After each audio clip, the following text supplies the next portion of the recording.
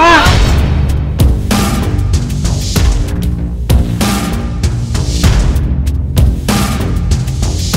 What? Eu sou o Vlad Oliver. Neste vídeo a gente continua a falar de primitivas pelo conceito de dimensão dos elementos de um modelo. O ZBrush não trabalha com tamanhos definidos. Eles são função da ferramenta que você escolhe para posicionar e escalar o objeto, assumindo qualquer tamanho numa geometria. É ruim, mas tá bom. Em certas coisas aí não reclama. Muito. Bem, nesse vídeo a gente vai continuar nas premissas básicas da construção poligonal, ok? Seguindo os ensinamentos de Michael Pavlov, que é um dos melhores modeladores de ZBrush que a gente tem por aí, ok? Vejam, o que, que nosso amigo faz? Se eu venho aqui Make Polymesh, eu nem precisaria fazer isso. Eu estou apenas reorientando novamente os polygroups aqui do meu objeto, ok? Mas eu posso vir aqui IMM Primitives. Se eu dou um W, ok? Eu estou movendo, mexendo esse negócio aqui. Dar um rotate aqui para vocês verem. Opa, talvez com... Opa. Isso aqui não é muito, não é muito facinho de ajustar, mas o que eu estou querendo fazer, em última análise, é isso aqui. A gente tem isto aqui. Se eu vier aqui, vejam, cilindro, eu mudei a conformação do meu cilindro, ok?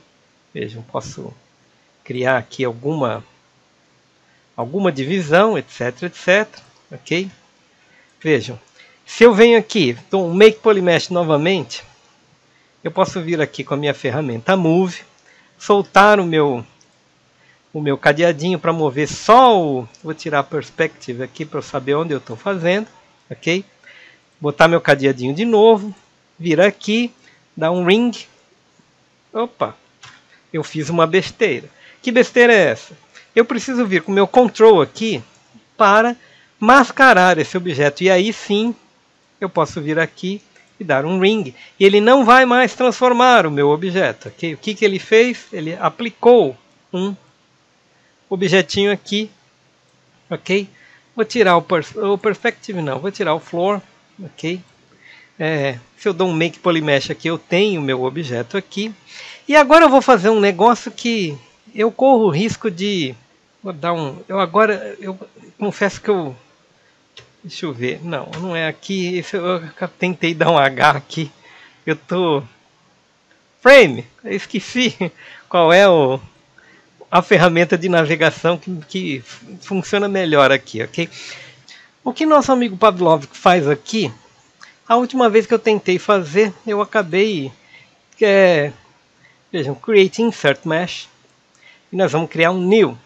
Ok. A última vez eu travei a máquina exatamente nisso aqui.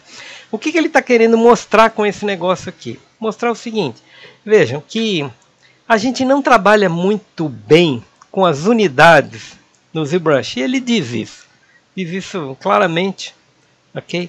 A gente pode vir aqui, dar um Unify que isto vai aumentar o tamanho do seu objeto aqui, ok?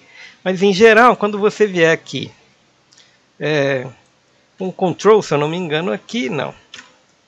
Ah, Shift F, estou fazendo besteira. Ok, não estou conseguindo. Vamos ver com qual. Aqui. Enfim. Vejam que o que ele faz, na verdade, é mostrar para gente, vejam, vou dar um, vou liberar aqui, que o tamanho não importa muito, ok? A gente, na verdade, vejam, eu estou com o objeto posicionado aqui num lugar meio besta, ok? E toda vez que eu clico ele aqui, eu estou com esta posição, ok?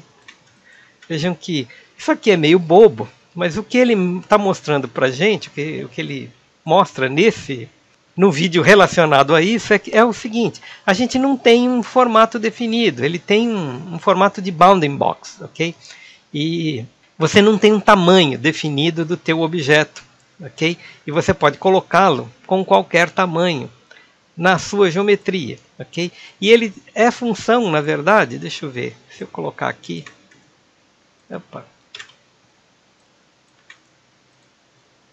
é, Estou fazendo muita besteira aqui, mas tá engraçado. Tira isso aqui. É aqui, aqui. Vejam que eu tenho várias posições para colocar. Uma vez que eu estou com o eixo todo furado, ok? Mas o que, que eu estou querendo mostrar com isso? Estou querendo mostrar que não tem um tamanho definido para você fazer esse tipo de coisa. Ah, posso vir aqui e tirar tudo de uma vez. O que ele tenta mostrar aqui é o seguinte. Se eu vier aqui, vamos dar um scale no objeto aqui. Ah, vejam que eu estou com ele bem fora do, do meu eixo aqui. Mas, opa.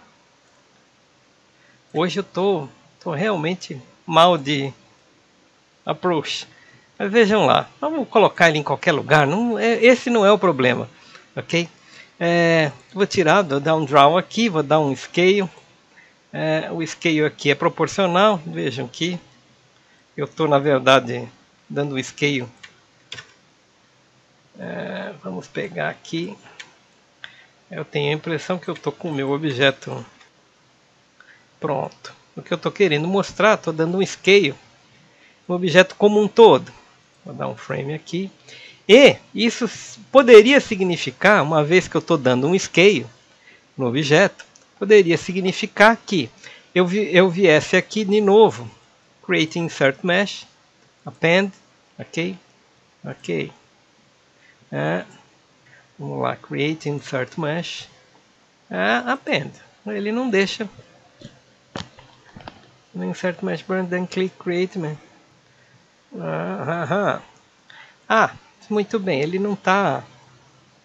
Ele não está.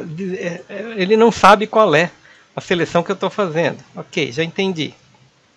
Muito bem. Se eu vier aqui. Eu, na verdade, estou tentando entender o Create Insert Mesh aqui. Funciona? É, eu vou tentar de novo. Vou vir para cá. Vamos ver. Create Insert Mesh. Append. Skip a note. Ah, isso aqui, pronto.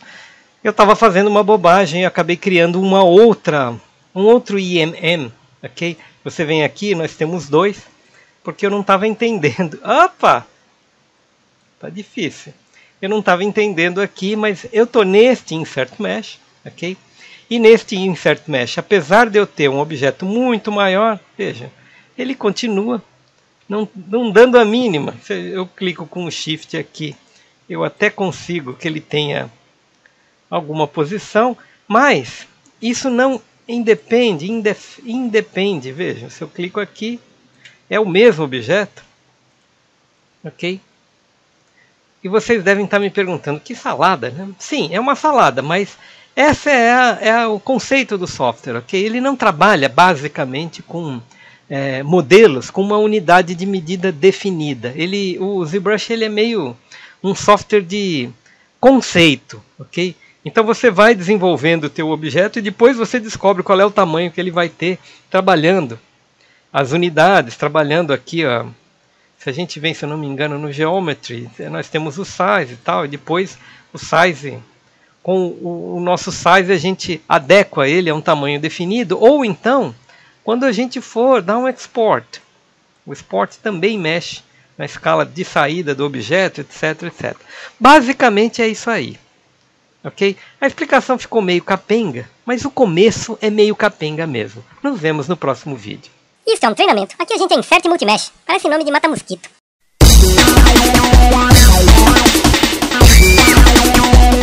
Se você gostou, não esquece da gente. A gente precisa da sua participação para continuar por aqui.